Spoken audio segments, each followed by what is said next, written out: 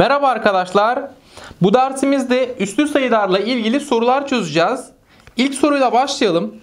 7 çarpı 7 çarpı 7 çarpı 7 çarpı 7 çarpı 7 eşittir 7 üzeri a.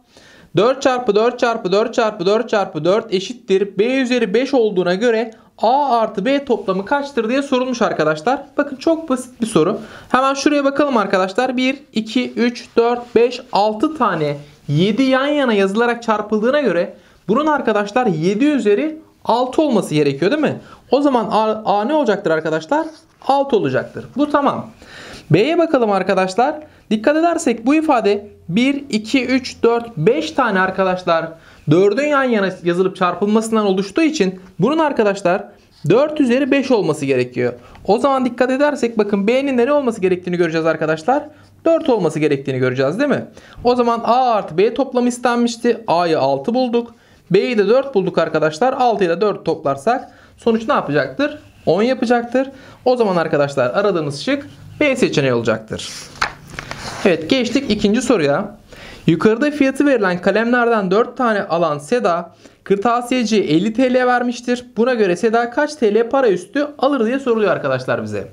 Bakın hemen biz kalemin fiyatını bulalım. Kalemin fiyatı arkadaşlar üstlü sayı olarak verilmiş değil mi? 3 üssü 2.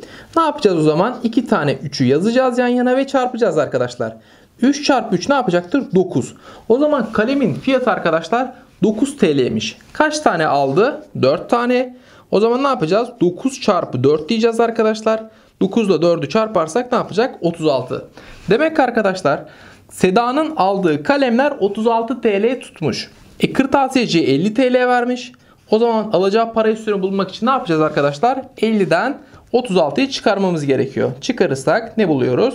Bakın 14 bulacağız. Demek ki arkadaşlar Seda 14 TL para üstü alacak diyoruz. D seçeneğinde. Evet geçtik 3. soruya. 11 üzeri 9, 13 üzeri 9, 8 üzeri 9 sayılarının küçükten büyüğe doğru sıralanışı aşağıdakilerden hangisidir diye sormuş arkadaşlar bize. Ne demiştik? Küçükten büyüğe. Şimdi arkadaşlar bakalım.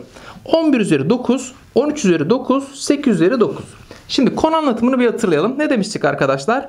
Eğer karşılaştıracak olduğumuz üslü ifadelerin üstleri aynı, tabanları farklı ise Üssü büyük, e, tabanı büyük olan büyük demiştik arkadaşlar. Şimdi bakalım küçükten büyüğe istediğine göre ne diyeceğiz arkadaşlar? Üstlerimizin hepsi 9. 9, 9. O zaman ne diyeceğiz? Tabanımız küçükse sayımız daha küçük olacak. En küçük sayı ne olacak arkadaşlar o zaman? 8 üzeri 9 olacak. Doğru mu? Daha sonra arkadaşlar 11 üzeri 9 olacak.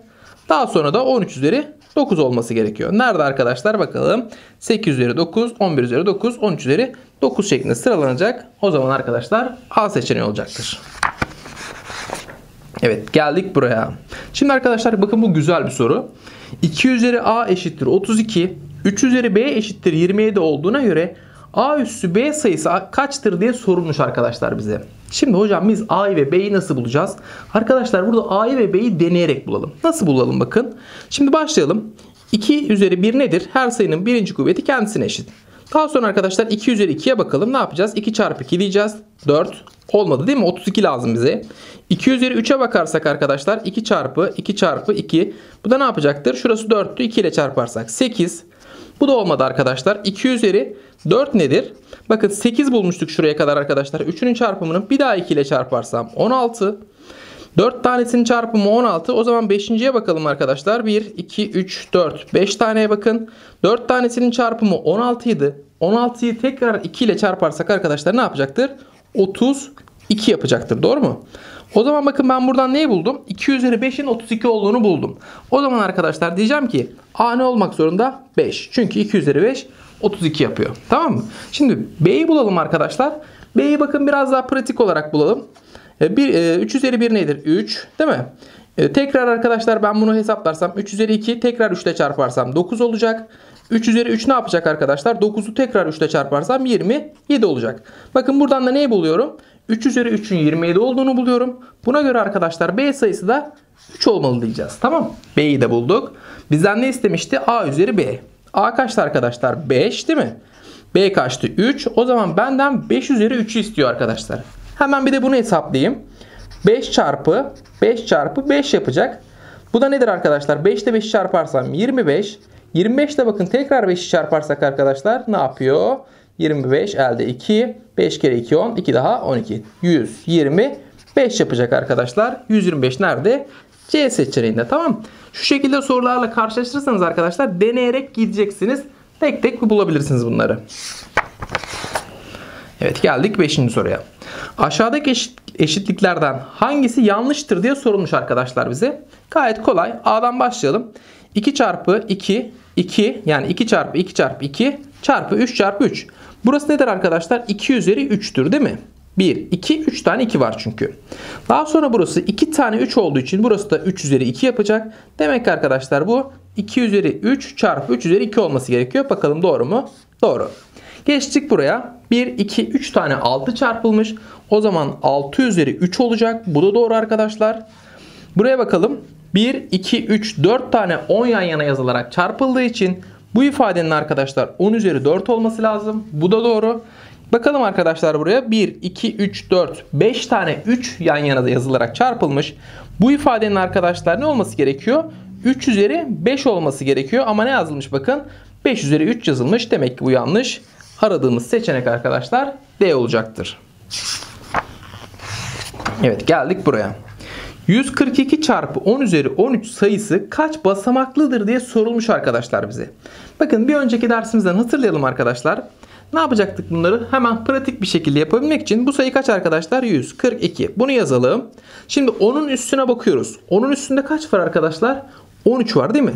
Demek ki diyeceğiz bu sayının sonunda 13 tane sıfır olacak arkadaşlar. 1, 2, 3, 4, 5, 6, 7, 8, 9, 10, 11, 12, 13 tane sıfır olacak.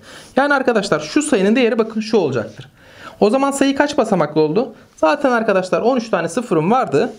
14, 15, 16 basamaklıdır diyeceğiz arkadaşlar. Tamam mı? Sayımız kaç basamaklı? 16 basamaklı diyeceğiz. Evet geldik buraya.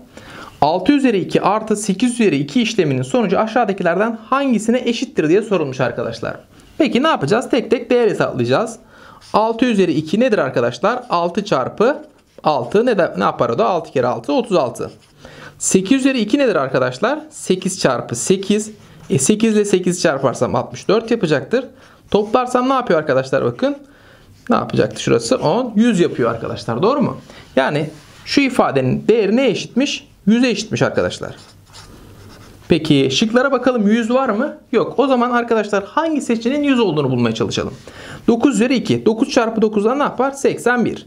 10 üzeri 2. 10 çarpı 10'dan ne yapacak arkadaşlar? 100. Demek ki aradığımız seçenek hemen B seçeneğidir diyeceğiz arkadaşlar. Tamam. Evet arkadaşlar dersimiz burada son buluyor. Daha fazla video anlatım için ekrandaki bağlantıları tıklayabilirsiniz. Kanalımıza abone olmayı unutmayın.